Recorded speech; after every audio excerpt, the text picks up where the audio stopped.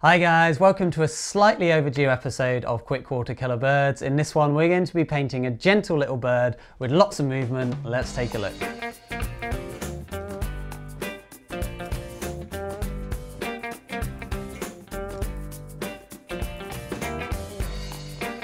So little is a bit of an understatement here. Not only is this a member of the hummingbird family, already a group of mostly tiny birds, this is the smallest of the bunch, which is the bee hummingbird.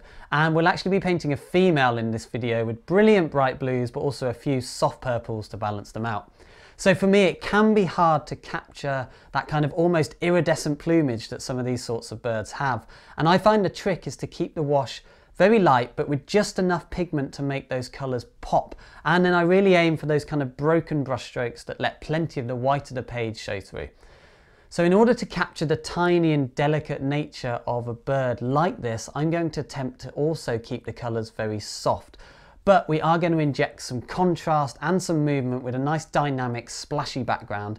And I'm also going to attempt to do the bird in just one nice fresh wash and then we're going to kind of drop other colours into that at different stages as it dries.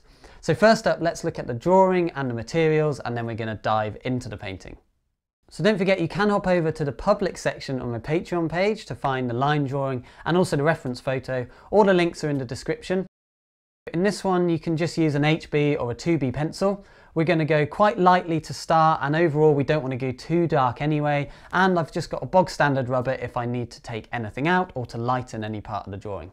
As always here, the key is to lay down the big shapes first. We're always working from big general shapes down to small and specific ones with the details just being little decorations on top. And the main aim here is to get the big shapes not only the right proportion in relation to each other, but also very importantly, we really need to look at the tilt or the angle of these specific shapes.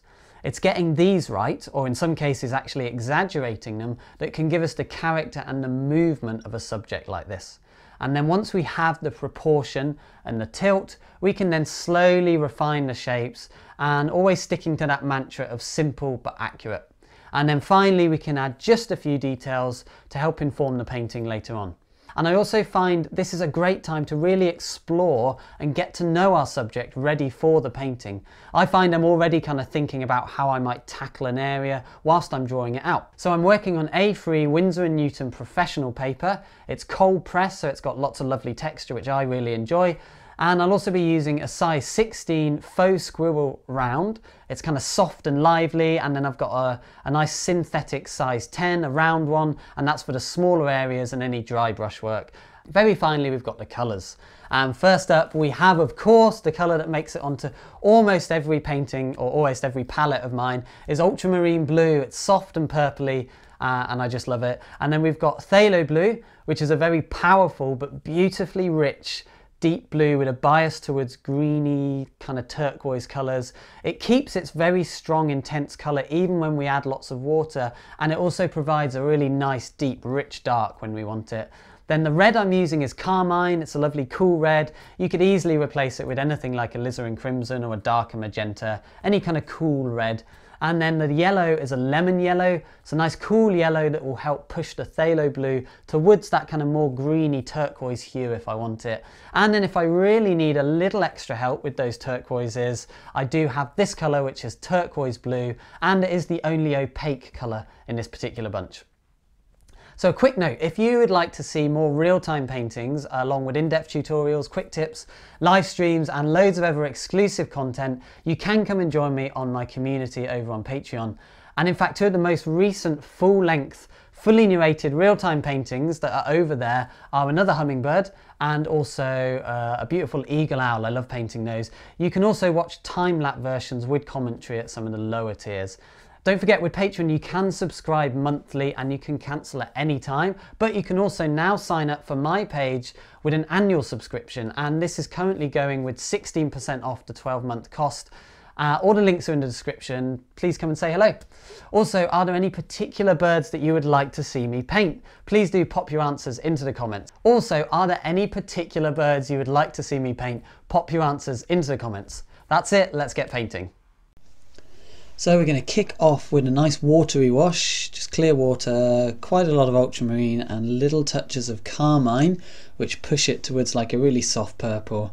Putting loads of water in there because I want it to be a nice kind of mid-tone shadow. And the trick here is that the, the paint looks still quite dark, but because it's got so much water in it, as it dries, it will dry a fair bit lighter so it looks darker than you you might want it. And ordinarily I might not start with such an exacting area. I'm really holding the brush quite low down here close to the um, uh, close to the bristles and having to be quite accurate. And that's because I just wanted to get the head shape kind of correct. And I'm just looking for a continuous simple shadow all the same tone all the same color right from the tip of the beak on the underside of the head in shadow, even into the eye, which will go darker eventually. But then we, we kind of bring that down and we're looking for like a nice little interesting shape of shadow. I'm working on about a 30 degree tilt here, so all of the paint kind of beads um, lower down in the wash so that little that little dark bead that I'm working into now that's kind of the driving force behind the watercolor that's the bit we keep picking up and working with and then the rest remains damp and slowly dries and we can put different color into that. And look how I'm linking the shadows together. That's such an important part of watercolor exactly the same color exactly the same tone exactly the same paint consistency to start with. So it's all one nice fresh wash. And then the trick is that I can now drop in kind of slightly more saturated pigment as I go. Uh, that's a little bit too strong a blue although it will dry significantly uh, softer in color and that's one of the things I love about ultramarine. Ultramarine granulates and it looks quite blue and intense when you start, almost too blue, but I know that if I grey it down, it'll look too grey for what I'm after, so I mix in a little bit more red. And the, the trick here is with watercolour, you can keep working a wash as long as it's fairly wet. As soon as that wash dries past a certain point and the, the pigment starts to settle, that's when you start to muddy the watercolour. But as long as you keep this wash alive, you almost can't go to wrong if you if you go too dark you can pull the pigment out. You can wash the pigment out with clear water. If you've gone too light you can just keep loading more pigment in there. Uh, the only the big problems may arise if the water in your brush or there's more water in your brush than the pigment you're working into that's when we can kind of get cauliflowers. So for the first time I'm introducing the the um, the turquoise color and I want to keep it really light. So again it's quite watery. It's got enough pigment in there to look turquoise and nice saturated color but I'm just trying to find that balance between that and keeping it nice and light letting it run into the shadow color in places and very purposely using the brush quite lightly to kind of scrape it over the surface to create that slightly broken brush stroke that's going to give lots of whites to the page and it's going to give as best as I can get that kind of iridescent feeling where you've got lots of light reflecting off the lovely light turquoise colour. And then the joy is here, we've now got a small wash of turquoise which we can drop more pigment into if we want. Not forgetting that our colours will dry lighter and also they look darker than they will eventually look because there's no deep dark on the page, they're the darkest colour there. The more darks we introduce, relatively the colours that we have on there will look lighter. So this whole wash, right from the beak, down into the turquoise head, down into the purple of the underside of the head and the body, up into the underside of the wing, that is all still wet or at least kind of damp. So I can now drop paint into it, this kind of wet into wet approach where we're loading an existing wash.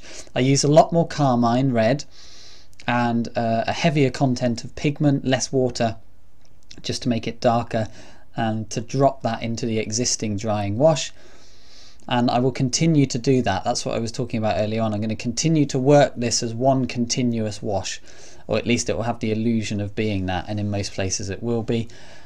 Tiny, tiny, tiny touch of phthalo blue just to go a bit darker, remembering that that's a really powerful colour and I don't want to go over the top with it. I'm just kind of slowly but surely picking my hits, leaving lots of whites of the page for now, keeping the pigment lighter than I think it needs to be because we can always go darker and we can always cover more whites of the page as time goes on. So we kind of err on the side of less is more and light with a view that we can go darker. So I felt like I'd covered too much of the paper there, so I just put in a damp brush, pull the pigment back out again. Can see I'm constantly wiping my brush on the, uh, the kitchen towel that I have at the top because I always want to control the amount of water that's in there and the amount of pigment. And now we're just slowly working into the back of the body. I know that I want the right hand side of the body where the turquoise is to be hit by light.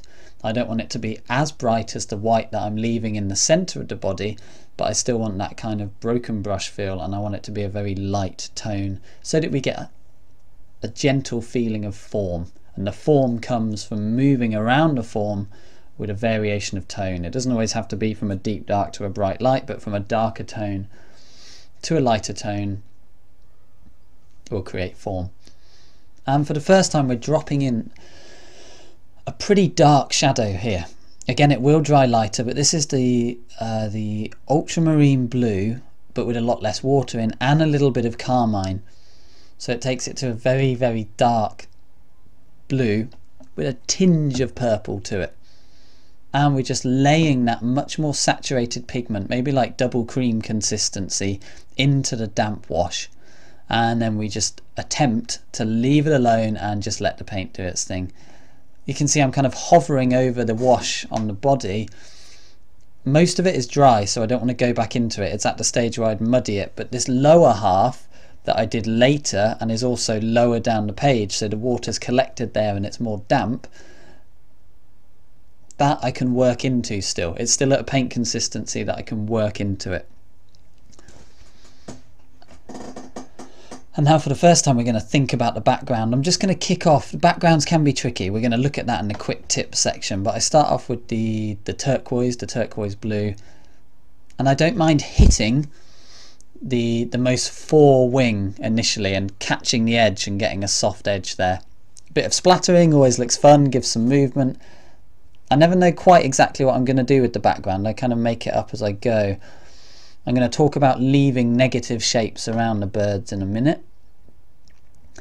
And we start nice and wet and watery because again we can always go darker. Nice direct, hard, kind of definite brush strokes and then we can always soften them down with clear water like I'm doing here. So again, as long as you're quick, you've got time here, you can put in clear water and it won't cauliflower as long as you're careful. You keep working the paint, like moving it around. There's a great saying that once the wash dries, it dies. Like as long as you keep that wash alive and wet, you can do different things with it. Notice how I am leaving a little bit of white on the leading edge of the currently painted wing, just to separate it from the background of it. And at this stage, I've actually left the, the background wing clear. And the idea is that I want to work that wing as the background wash is drying. I didn't set off expecting to do that. It's just kind of happened naturally as the painting has evolved. So I've got to kind of work with that idea. And I'm trying to create a background here that creates a nice overall design. Not being afraid in watercolour especially, but in any painting, to leave lots of areas of a painting with not much going on. And in this case, the white of the page. It doesn't always have to be the white of the page, but at least a big area with nothing going on and the design is kind of shoved a little bit up into the right hand corner to make it interesting. Not bang in the middle of the page although the bird is fairly central. Along with the background it makes the design kind of top right corner. And then the wash on the back is still wet but it is drying. It's kind of got a dampness to it. And if I'm going to drop any other colours into it now's the time because if it goes any longer it will be too late. That colour's a little bit too heavy and dark so I, I clean off my brush um, and I go back in with a purple to push that darker and then I will be softening this blue ever so slightly as time goes on. But again knowing that the colour will dry slightly lighter than I'm putting it on. So even at this stage this wash is almost dry the tail down here. This is when we start to move to a little bit of dry brushwork or certainly a more kind of double cream almost buttery consistency not quite at the pure dry brush of kind of that Marmite consistency, but not far off. So the pigment is darker and it also allows for sharper marks. I'm starting to just place in That wash is still damp there so I can work into it, just starting to place in some slightly darker colours, but I'm very wary of going too dark. I'm thinking very carefully about where are the darkest tones on here. If I ignore the eye, how dark do I want to go in the rest of the body? The most painted wing at the moment is in shadow, so there I do want to go dark, but even that is not currently as dark as I could go, so I could go darker there. So we're going to the, the smaller synthetic brush now because I just want to do a little bit of work in here uh, some more interesting shapes. Like looking for some more interesting shapes in there. Um, yeah, still decided that that blue was too dark, so I've pulled out the pigment, which I can do while it's wet. And also not forgetting that it will appear lighter as it dries, and I put in the deep darks elsewhere. This wash is still wet up here, so just dropping in like two or three little spots of the more saturated, darker paint, just to give it a slight feeling of um, the plumage, just because it's not a flat plumage, it's got like variation of tone within the feathers. And just to make it more interesting, we don't want to do that everywhere. We want to find a balance between nice flat simple washes in places versus other washes that have a bit more texture and a bit more about them. If we had texture everywhere, it would look over the top uh, and kind of conflict. It would be all shouting for our attention but if we had similarly just flat washes, we might lose some of the form or we might lose an opportunity to have a bit of interest coming from a bit of variation of the plumage. So here I'm kind of tentatively tackling the wing. Uh, I needed to cut the background in a little bit more into the background wing so that we didn't end up with a conjunction which would have been where the line of the back wing flowed perfectly into the line of the front wing and that would have looked odd uh, and it would have jarred the eye a little bit. So this is a kind of purpley mix, a lot more biased towards the carmine because this wing is getting hit by the light a little bit more. Kind of a damp wash. Um, I'm not minding if I hit the drying background wash. I kind of want those to flow together a little bit wet into wet or at least damp into damp just so that background wing is very much there but it's softer and less defined than the foreground wing and I want to give a gradation from like a dark tip through to maybe saying that the light is hitting the background area a little bit more. Or the you know the, the where the wing is behind the other wing if that makes sense. So I'm just going to push this edge darker very carefully in order to throw out the foreground wing. So we're always looking for this counter change. The front leading edge of the most foreground wing is very dark against a lighter tone. As the wing comes back towards us it gets lighter so what's behind it I darken, kind of accentuate that light edge on the back of the wing. And then um, as we move up the wing to the tip, the wing closest to us, that wing gets darker. So in order to throw out the dark edge, the back edge of the wing, I make the wing behind it slightly lighter so we get what's called counter change. An edge goes from being light against dark to dark against light. And just as this dries now, I'm going in with almost pure pigment. It's got a little bit of kind of residual dampness in the brush, which helps the paint kind of flow a little bit more, but this is kind of more defined, definite brushwork. A little bit of um, pigment into that area just to create some interest. And what this is great for is providing that kind of sharp definition what you'll find is we can work very wet into wet for quite a long time and it can feel like it's not really going anywhere or it's looking a bit unfinished. That was a little dark for just to suggest a foot but no more than that. But as soon as we put in that lovely dark with a dry brush and a more defined mark suddenly all of these lovely areas of softness and wet into wet start to make sense and we start to get that contrast of sharper edges with the softer edges and it begins very quickly to feel more finished. It's almost like in acrylics and oils when we start to put on the thicker paint and the lighter paint and the definition the painting begins to feel more finished or we can kind of see where it's going. It's exactly the same with watercolour. When we start putting on those sharper marks some of the dark, some of the more defined marks, we can kind of get a sense of where the painting's going for the first time. And I certainly start to feel a little bit more confident at this point and start to get a glimpse as to whether it's going to work or not, or if I should pursue it because it might work.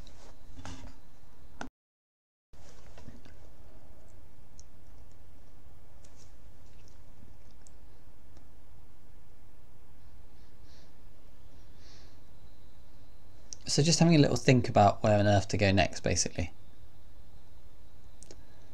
And we're going to start getting into that background.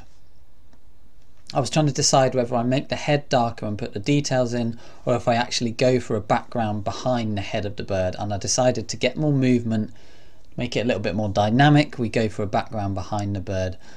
Not entirely sure what I plan to do with it at this stage. I'm just kind of going for it. As long as we keep it light, the paint that I'm working on top of is dry, so we don't cause any problems. We should be fine. I kind of intended these wings to be a bit more wet into wet, but I've kind of had to commit to bringing that paint down. So I'll lose a little bit of the soft wet into wet work, but I don't think it's going to matter too much. What I've effectively done is created a really lovely, deep, rich wash to now work into more and more.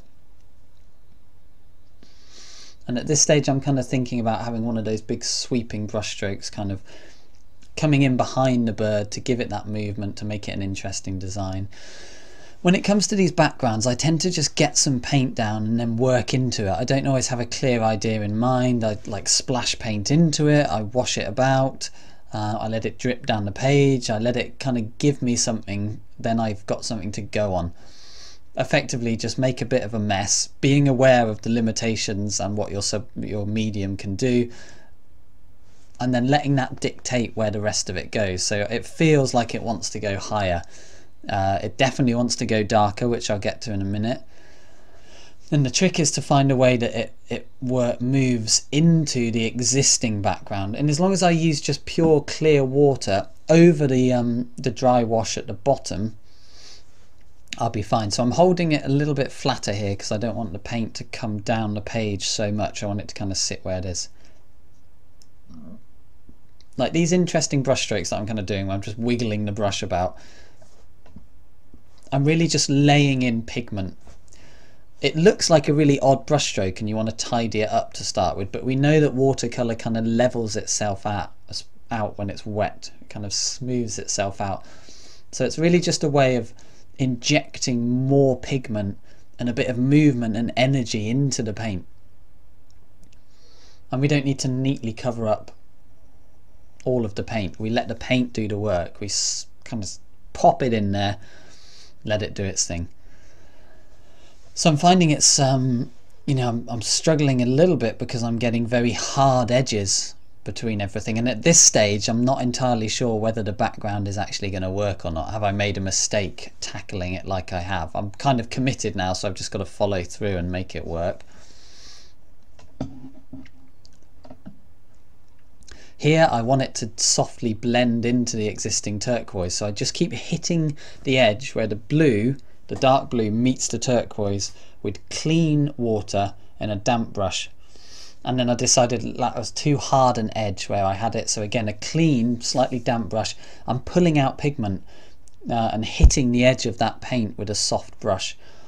And that softens the edge. It makes it um, feel more gentle and not so sharp. And in reality we want a combination of hard edges and soft edges. We don't always know exactly where we want them and when we want them or even why we want them. We just kind of have to go with it and make it look good. And you've really got to trust your instinct here which um, your instinct gets better the more you paint.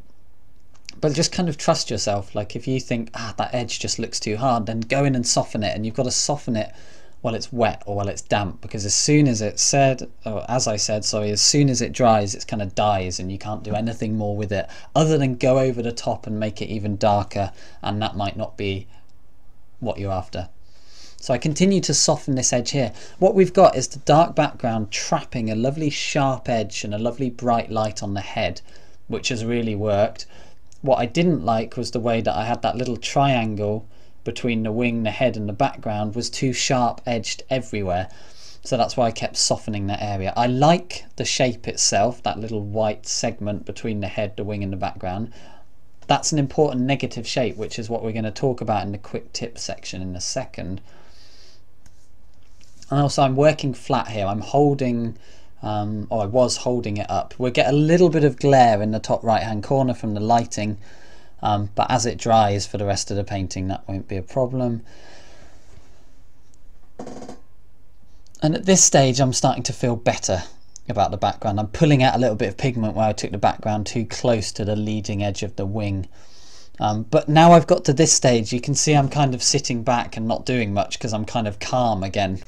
So this is a great point to take a little break and look at the quick tip section where we're going to look at that interaction between the background and the object. So what I wanted to talk about here is creating a background that interacts well with the bird or whatever it is that you're painting. So nothingly overcomplicated and in this case it's more of an abstract background that simply kind of supports the overall painting and adding movement and contrast at the same time. So we're going to get to more literal backgrounds in some future videos. And there's no right or wrong here. Um, but there are certainly some things that I would like to talk about that will hopefully help you make decisions when it comes to creating your own backgrounds.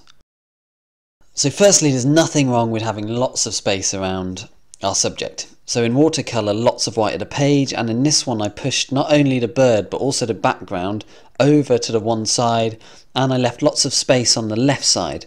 Now for me this gives a nice feeling of movement kind of into the page and it helps with the direction of movement of the bird. Uh, in this case, that was kind of the main objective. And often with something like this, simple is best. We don't need to overthink it. And if we're feeling brave, we can even kind of leave it open to a bit of evolution as we go.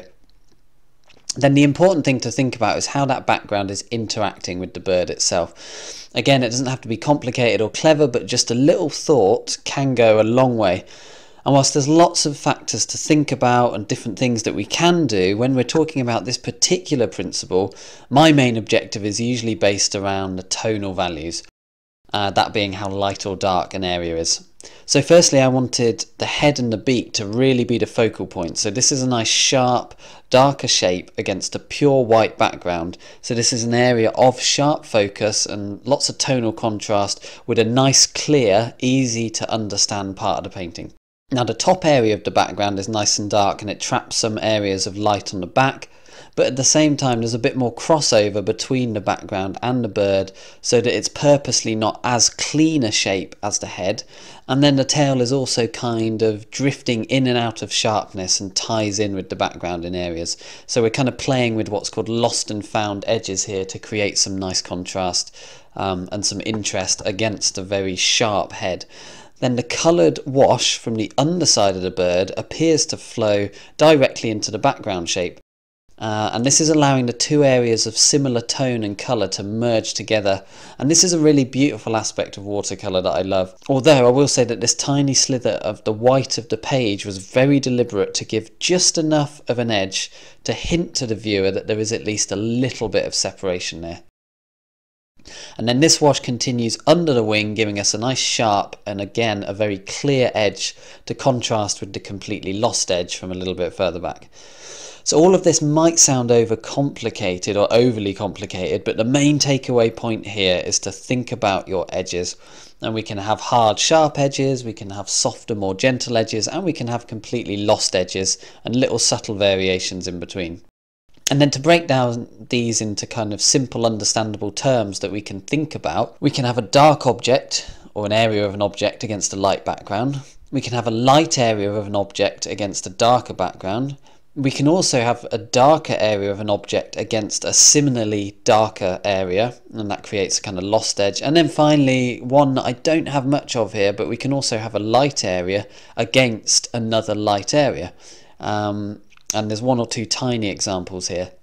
And then let's very quickly go back to the one we're working on and kind of apply those same principles. So the bird itself is pushed up and the whole design, which includes the background, is also kind of pushed up towards the top right hand corner, giving us lots of space below and to the left, which to my eye gives a nice feeling of upwards movement and a pleasing kind of overall design. And again, the main consideration here was the interaction from a tonal point of view. So again, I wanted to draw attention to the head. This time, however, I chose very light, soft colours and tones for the head, and I contrasted them with the very strong dark background.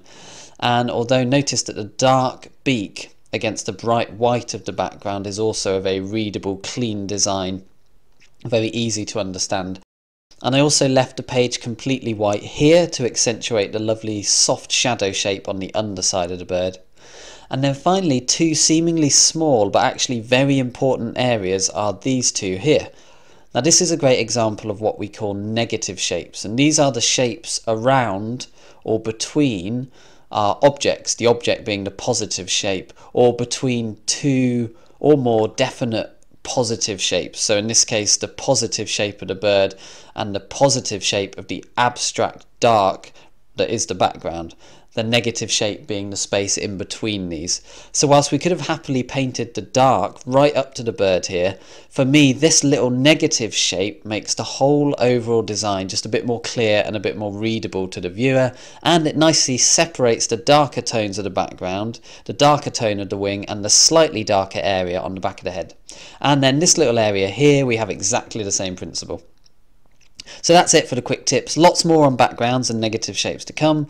Don't overthink it, but do try to have a little bit of a plan in mind that can evolve, but one that consciously considers these kind of basic questions of how am I seeing an area from a tonal point of view. Okay, so on that note, we're going to dive straight back into trying to finish off the background now. So this is quite an exacting bit again, so you're going to have to kind of bear with me because I'm going to have to paint very close to the underside of the head and quite accurately because I don't want to alter the shape too much. Obviously the, the shadow that I painted earlier on the, the underside of the body and the head is nice and dry so it's great to work into and I kind of know what I want to do. I want to keep that dark coming in behind the back of the head and it's going to really throw out and accentuate the lovely soft tone and the lovely soft colour of the underside of the beak and that lovely kind of ultramarine with a little bit of purple um, on the underside of the head or the head in shadow. So yeah, what we do here is we can give the illusion of a very quick, broad brushstroke, but actually um, with a small brush, the size 10, I'm being quite exacting and really painting up closely to the underside edge of the head. Then once I've got that wash correct and I like it, then I can load it with more pigment and try and kind of at least keep it slightly in keeping with the um, the lovely dark background that we've got there uh, on the other side of the beak. So that's kind of it. We, we, we've got I've got the sweep of the background that I like. It needs a little bit more work to to kind of work well, but um,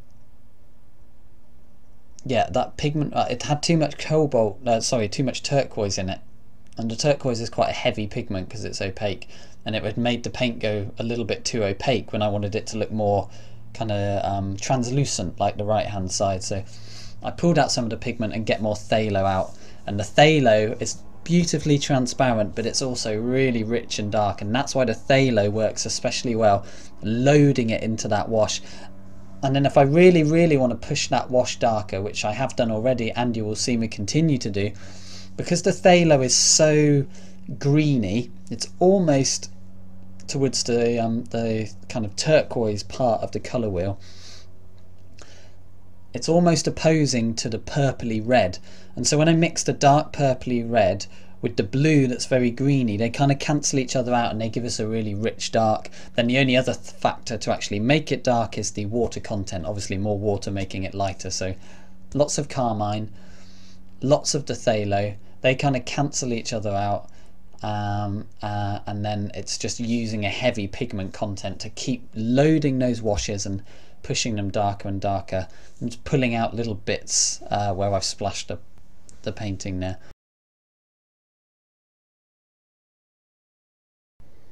So I've just let the painting dry off a little bit and you can see I just added a little bit more to the wash in the top right hand corner and then that background is done. You can see how beautifully it's dried.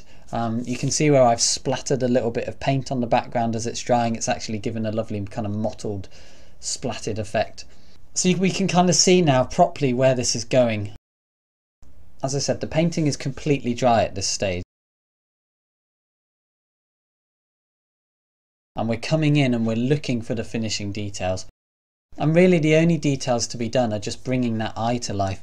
I loved that the majority of the bird was done in that single wash, lots of wet into wet, dropping in more pigment as we go.